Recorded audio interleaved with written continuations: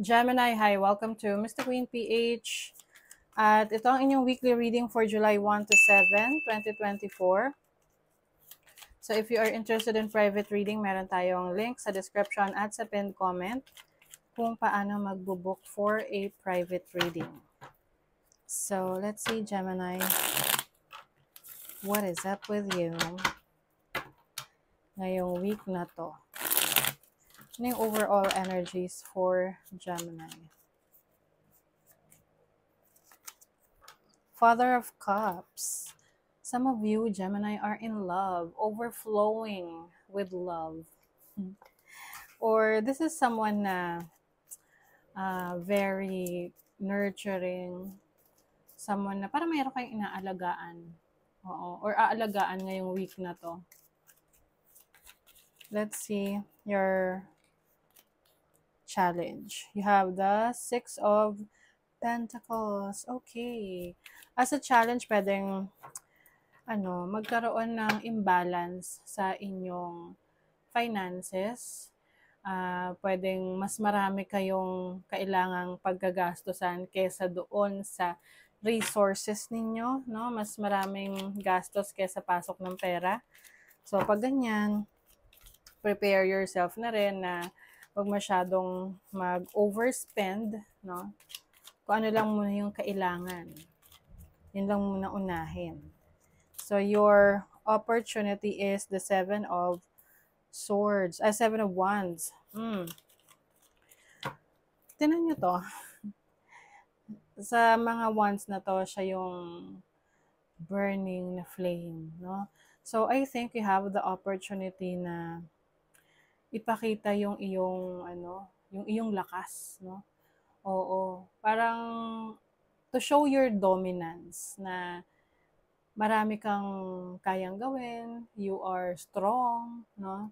And some of you are also setting boundaries. No? Kumbaga, kung dati mabilis kang umoo sa mga taong humihingi ng tulong sa'yo, pwede ngayon, ano, kumbaga, lalo na kung alam mong medyo tinitake advantage ka na. Mm-mm. You will learn how to say no. So, yung blessing mo is the Six of Swords. Okay, so the Six of Swords is about moving on, moving forward to calmer water. Sa may rainbow dito, there's a rainbow after the rain, 'di ba? So kung after a challenge, meron tong uh, magandang resulta. So kumbaga, alam mo yung mga challenges na pagdadaanan mo ngayong week na to, mapagtatagumpayan mo siya. Okay? Let's see. Kumbaga ano, ito, yung finances. Uh, lalo na ngayon na may heads up ka na, oh, medyo mag-ingat muna sa gastusin Ayan. So, pagtatagumpayan mo yung challenge na yan kasi na-prepare mo yung sarili mo. What is the Father of Cups? Judgment. This is major change in your life. Uh, some of you, no, hindi naman to para sa lahat ng Gemini, but I see someone na pwedeng meron kayong aayusin na relationship nyo sa isang, sa father ninyo sa tatay niyo. Mm. Na pwedeng may reconciliation or merong pagpapatawad, you're you're letting go of your your ano, yung mga sama ng loob mo sa isang tao para na rin sa kapayapaan ng isip mo. Six of Pentacles. O, diba? Five of Pentacles.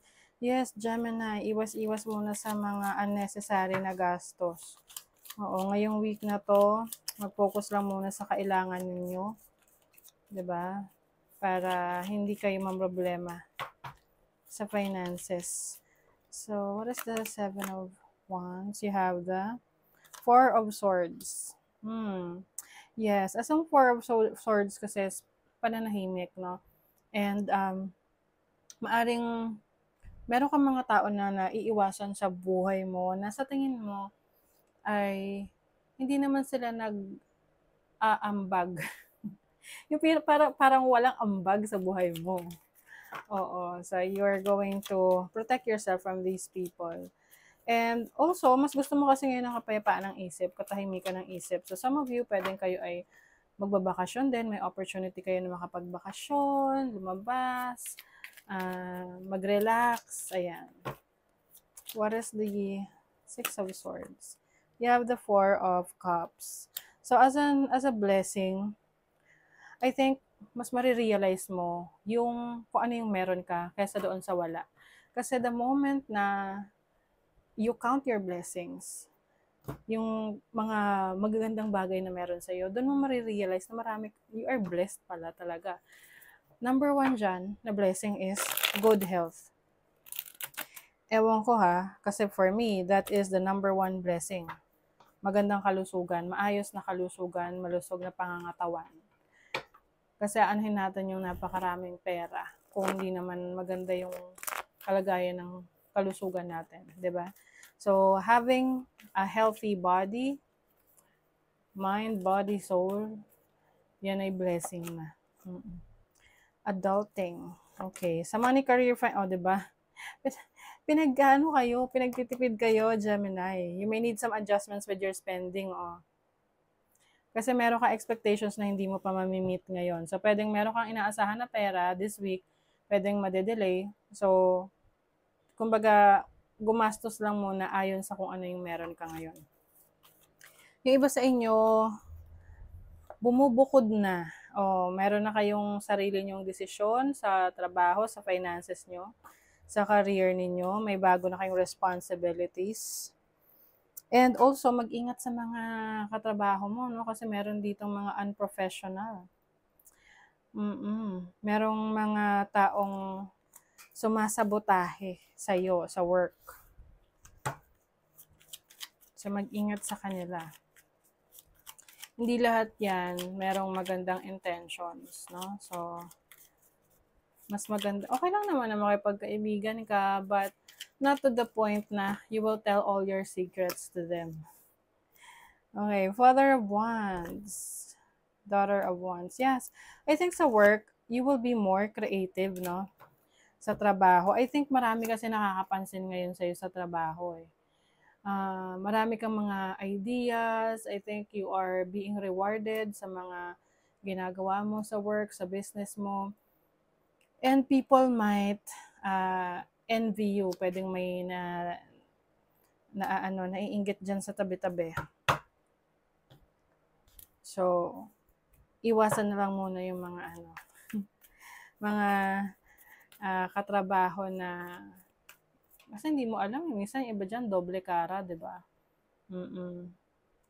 Some of you, medyo mag-ingat rin sa papasuking uh, business venture. Kilalaning maigi yung taong makaka-business partner mo. Or even sa investment na papasukin mo. Sa relationship, yung iba sa inyo, pwedeng kung wala kayo masyadong oras at panahon sa partner ninyo, no, kung may partner kayo, pwedeng kayo ay lalabas. Mm-mm. Lalabas kayo, magde-date na kayo. may date night dito eh. And I also see na pwedeng mas magiging uh, connected kayo spiritually. So yung iba, magsisimula na kayong uh, umattend sa mga mga religious organizations na mga pag pagpupulong or pag yung mga ano, um, service, no? Sunday service, ganyan. Or meron kang taong gustong, if you're single, meron kang taong kinikilala ngayon. Mm-mm. Gusto mong makilala ng lubusan tong taong to. Ano yung background niya. Three of Wands. Oh. Okay. I feel like ano, someone here is dealing with a person na maraming responsibilidad sa buhay. Oo, so isipin mo rin kung ready ka na for this person kasi syempre, pag seryoso yung relationship, yung responsibilidad niya pwede ring mapasa sa iyo. Oo. Or yung iba naman sa inyo, if you have marami kang responsibilities, uh, you feel like pag nagkaroon ka ng karelasyon, eh, another responsibility na naman yan, commitment na naman yan. So, just make sure na kaya mong i-handle kasi pwedeng maging problema yan. Na, papasok ka sa relationship pero wala ka naman palang oras sa kanya, 'di ba? Baka magreklamo lang sa iyo. So you will reap what you have sown. Yes. So kung ano raw yung mga itinanim mo, yun yung aanihin mo. Deep friendship with someone of the same sex. So yung iba sa inyo, meron kayong super close na friend na makakasama lagi ngayong week na to.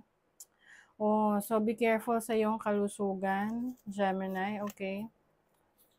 And there is also an announcement. So, this can mean announcement sa work, may bagong balita na importante for you sa trabaho. Yan, unahin mo ang mga priority mo. Uh, the quality of your life is determined by how you spend your time. Make sure your schedule reflects what the life you want. Yes, dapat in alignment siya sa mga goals mo. And also, yung mga, at yung attention mo raw, ifo-focus mo doon sa mga bagay na gusto mong ma-achieve. Doon sa things that what could go right. Okay? And kumbaga parang yan yung magiging inspiration mo eh. No? Na magpatuloy sa yung mga pangarap. Okay, so that is your reading, Gemini. Thank you so much. Bye.